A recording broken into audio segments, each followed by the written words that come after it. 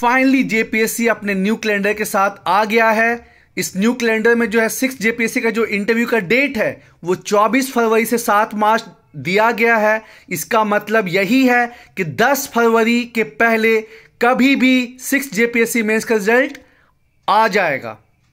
साथ ही साथ सेवन टू नाइन जेपीएससी का पीटी मेंस और इंटरव्यू का भी डेट प्रपोज दिया गया है। पीटी का डेट पाँच अप्रैल दिया गया है, मेंस का चार से सात जून और इंटरव्यू का चार से चौदह अगस्त। यानी बहुत ही कम समय मिलेगा seven to nine JPSC mains के लिए।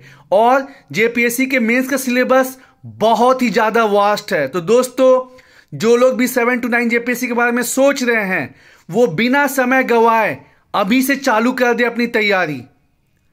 और साथ ही साथ जो जेपीएससी इंटरव्यू में अपियर करना चाहते हैं, वो लोग भी तैयार हो जाएँ, क्योंकि 24 फरवरी से 7 मार्च के बीच में इंटरव्यू प्रपोज है।